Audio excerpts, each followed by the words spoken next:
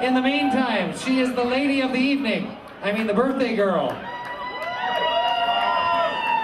Coming to work it out for you, ladies and gentlemen. Let's all wish her a wonderful happy birthday. Put your hands together deep down deep in your pockets. Show her some love. Give it up for Miss Bitch Flower.